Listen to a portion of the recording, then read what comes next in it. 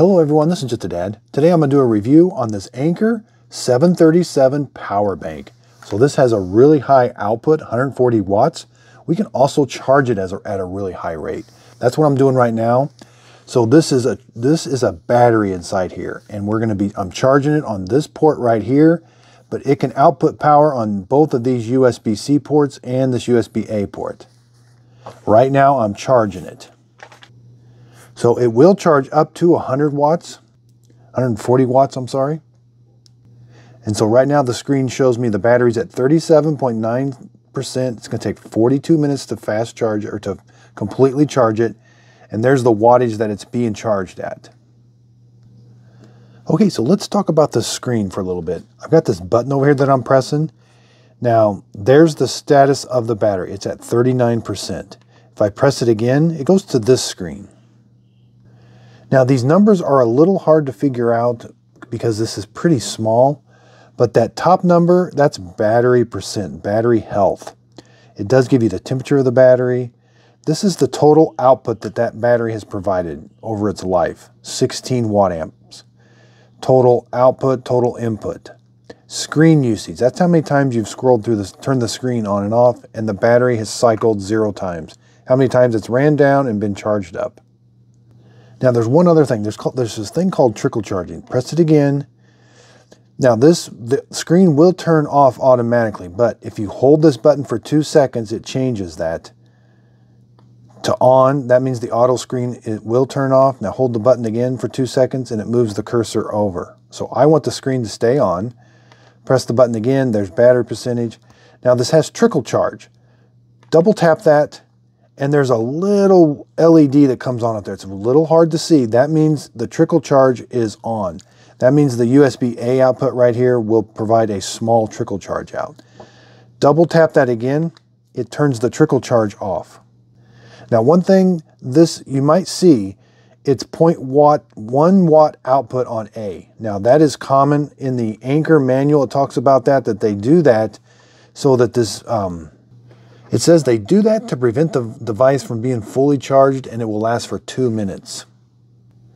Now on the same display, we also get the output. So if I want to charge something, so I'm going to plug in my, my iPhone 13 Pro and we're going to charge it.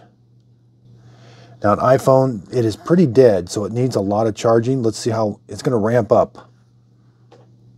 I've got it into this, they call it the C2. These have numbers on them. That's it. The C1 is the in and out. C2 is only out. So to charge it, you can only charge it on the C1 port. But we can see the iPhone, it takes a while. It should go up to super, it should go up to fast charging, which is around 20 watts. And it's getting there, so yeah. Okay, so the iPhone 13 Pro Max, it is stabilized at 22. 22.6 volt or yeah, watts. That is fast charge. That's about the fastest you can charge an iPhone. Okay, so now I've got my MacBook Air right here. I'm going to plug the MacBook Air into the other port. And let's see what happens. So the MacBook Air is plugged into the C1 and the iPhone is plugged into the C2 port.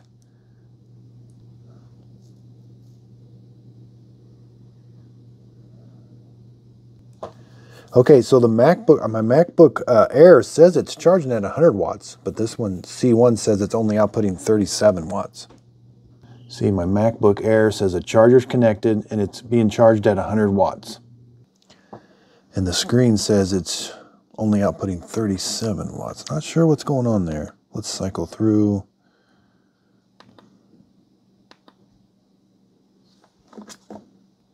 But it is still fast charging the iPhone.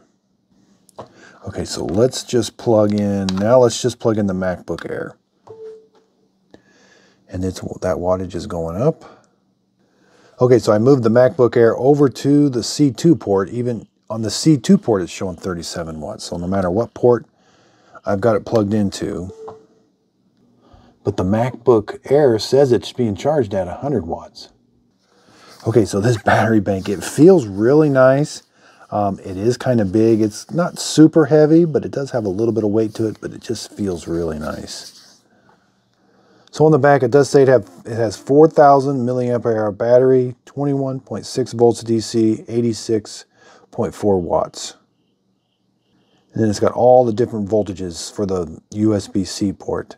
5 volts, 3 amps, 9 volt, 3 amps, 15 volts, 3 amps, 20 volts, 5 amps, or 28 volts at 5 amps.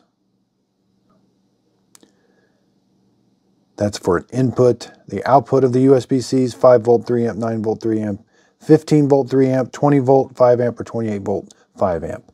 The USB-A, 5 volt 3 amps, 9 volts 2 amps, or 12 volts 1.5 amp. Total output cannot exceed 140 watts. So some of the things on the screen are a little small to read, but at least the battery percentage, that is very big, very easy to read. Now some of these numbers, you do have to kind of hold it pretty close to look at it. But the battery percentage is really uh, big.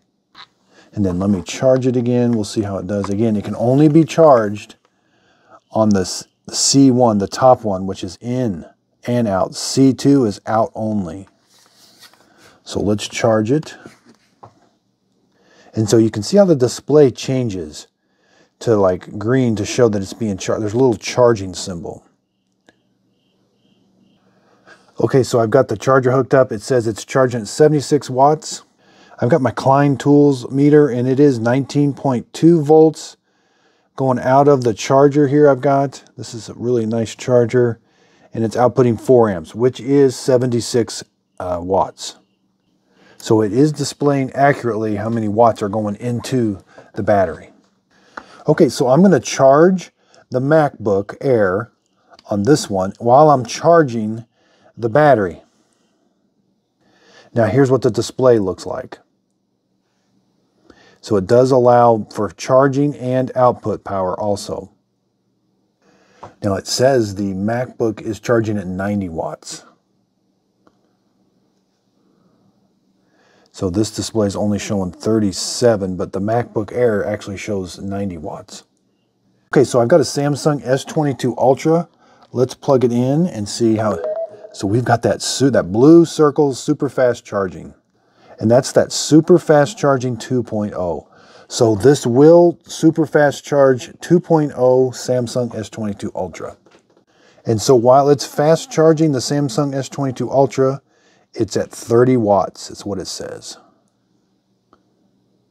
So it also comes with this really nice Anker bag, and it's got this USB-C to USB-C cable. It does say 140 watts max on the side of it. So this makes it super easy for traveling. Put it in this bag. You've got the bag, you've got the cable, you can cinch it up. Now you're ready for travel. That's a really nice feature. So this is a really nice battery bank for travel.